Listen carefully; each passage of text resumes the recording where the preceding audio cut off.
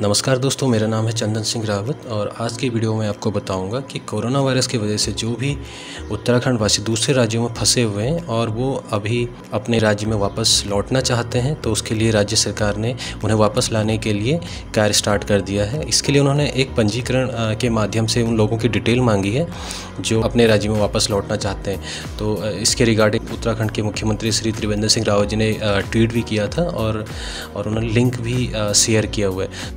चलिए आइए हम देखते हैं कि फॉर्म कैसे फिल करना है।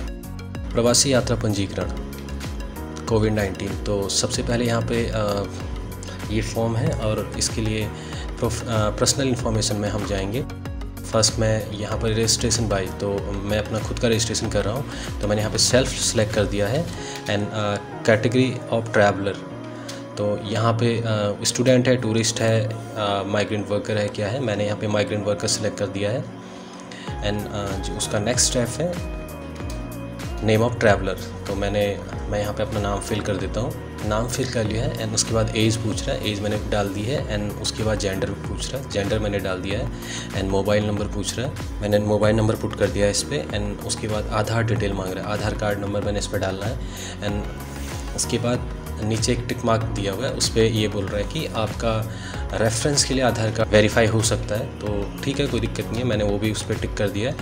एंड उसके नेक्स्ट इसमें ये वोटर आईडी डीएल या पैन कार्ड तो मैंने इस पर डिटेल डाल देता हूँ। मैंने डिटेल फिल कर दी है। एंड इसके बाद जो नेक्स्ट एट नंबर है status of Aarogya Setu app आरोग्य सेतु ऐप हमें इंस्टॉल करनी है। एंड उसमें जो डिटेल माँगता है, हमें कोरोना है या नहीं है, वो चेक करना है। तो मेरे फ़ोन में जो कलर आ रहा है ग्रीन कलर आ रहा है। तो मैंने इसमें ग्रीन कलर सेलेक्ट कर दिया है। उसके बाद सेकेंड पे यहाँ पे प्रेजेंट लोकेशन प्रेजेंट लोकेशन मैं दिल्ली में रहता हूँ। तो मैं यहाँ पे दिल्ली सेलेक्ट कर लेता हूँ। एंड सेकेंड है यहाँ पे सिटी तो मैं यहाँ पे दिल्ली सेलेक्ट कर लेता हूँ फिर से। एंड मोड ऑफ़ ट्रैवल तो ये पूछ रहा है कि आप कैसे जाएँगे? तो ओन ओन व्हीकल से भी जा सकते हो आप। तो मैं यहाँ पे बस सेलेक्ट कर रहा हूँ। एंड उसके बाद प्रजेंट डिस्ट्रिक्ट प्रजेंट डिस्ट्रिक्ट में जो यहाँ पे पूछ रहा है तो मेरा नॉर्थ दिल्ली आता है तो मैं यहाँ पे नॉर्थ दिल्ली सेलेक्ट कर लिया है। एंड इसके बाद ये बोला number of family member staying with you and one two one two back to Uttarakhand तो uh, मैं अकेले ही जाना चाहता हूँ तो मैं यहाँ पे ज़ीरो डालूँगा क्योंकि मैं सिंगल हूँ। अगर मेरे साथ चार बंदे और जाने हैं मेरे फैमिली मेंबर तो मैं यहाँ पे उनका नंबर डालूँगा। उसके बाद थर्ड यहाँ पे family member details address in Uttarakhand तो मैं उत्तराखंड में कहाँ से हूँ मैं उसकी डिटेल यहाँ पर डालूँगा। मैं यहाँ पर सिलेक्ट करता हूँ। अल्मोड़ा मेरा डिस्ट्रिक्ट जो है अल्मोड़ा है। एंड विलेज एंड जो तहसील है, मेरी सल्ट में आती है तो मैंने यहाँ पे सल्ट सेलेक्ट करना है।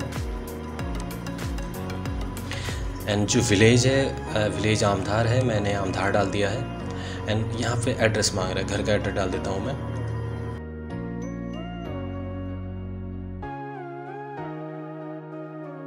मैंने एड्रेस डाल दिया है एंड उसके बाद अब मेरे पास जो फोर्थ ऑप्शन है, वो है contact person in Uttarakhand Uttarakhand में वो वेरिफिकेशन के लिए किस बंदे से कांटेक्ट करेंगे, उसके लिए वो डिटेल मांग रहे हैं. तो मैंने वो डिटेल डाल दिया है एंड उनका कॉन्टैक्ट नंबर मैंने कॉन्टैक्ट नंबर में डाल रहा हूँ.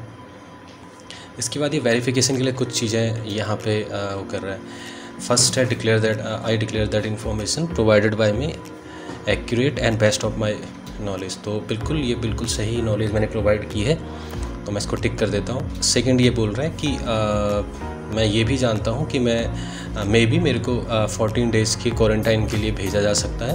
तो बिल्कुल मैं ये जानता हूँ मैंने उसको भी टिक कर दिया है। थर्ड ये बोल रहा है कि अगर मैंने कोई भी, जो भी इसमें इन्फॉर्मेशन प्रोवाइड की, अगर मैंने कुछ भी गलत यहाँ पे प्रोवाइड किया होगा डिजास्टर मैनेजमेंट एक्ट के अंतर्गत मेरे पे गवर्नमेंट एक्शन ले सकती है, बिल्कुल कोई दिक्कत नहीं है। वो भी मैंने इसमें टिक कर दिया है। एंड जो फाइनल लास्ट जो ऑप्शन मेरे से मांग रहा है, जहाँ पर मैं अभी मतलब रह रहा हूँ, ये मेरे कंटेनमेंट जोन में नहीं आता है। वो डिस्ट्रिक्ट मेरे कंटेनमेंट जोन में नहीं आता है। जैसे उन्होंने जो जोन बना रखे हैं तो वो भी नहीं आता है। मैंने वो भी टिक कर दिया है। दोस्तों, मैंने इसको सबमिट किया। हाँ एक ऑप्शन यहाँ पे छूट रहा है। जो डिक्लेसन में बोल रहा है कि मेरे में सिम्टम कोरोना के सिम्टम हैं या नहीं है तो नहीं है तो मैं इसको I don't have corona any corona symptom में वो डाल देता हूँ, यहाँ पे सिलेक्ट कर देता हूँ। ये मैंने सेलेक्ट कर लिया है। सबमिट करने के बाद दोस्तों, जो आपने इसमें मोबाइल नंबर डाला होगा, उस पर एक ओटीपी आएगा। वो ओटीपी नंबर आपने इसमें वेरीफाई करना है। जैसे ही वो वेरीफाई होगा तो उसके बाद आपके उसी मोबाइल नंबर पे एक मैसेज आएगा, जिसमें आपका एप्लीकेशन नंबर दिया होगा। रेफरेंस नंबर आने के बाद आप अपनी एप्लीकेशन को ट्रैक कर सकते हैं कि वो अप्रूव हुई है या अभी पेंडिंग है। Thank you